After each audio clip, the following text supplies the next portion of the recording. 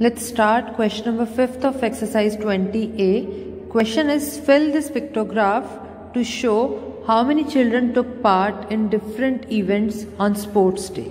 हमें क्या करना है इस पिक्टोग्राफ को fill up करना है use this picture to show 15 children this one picture means 15 children the numbers are given in the last column numbers are given to us and we have to fill this pictograph to show how many children took part in different events on sports day see in races how many children took part in races 75 75 children took part in races and one picture means 15 children. So how many pictures we will draw?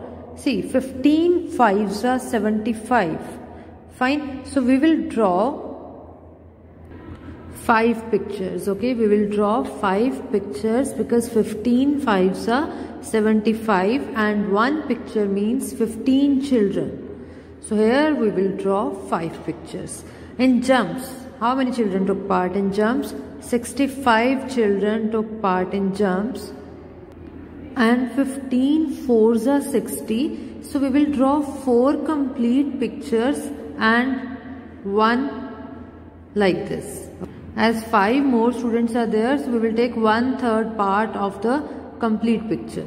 Okay. And in swimming, 55 children are there and 15 threes are 45. So first of all, we will draw three complete pictures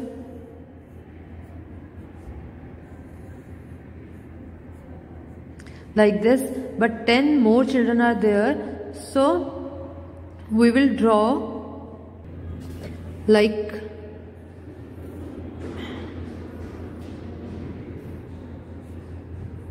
this okay we will take two-third part of the complete picture because 5, 10, 15 and there are 55 students who like swimming who will took part in swimming. So 15, 30, 45 and 10 more.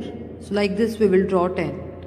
Fine. And in karate 50 children took part and 15 threes are 45 so we will draw three complete pictures because 15 threes are 45 and 5 more children are there. For that we will take one third part. We will draw the one third part of the complete picture like this. So this is 50.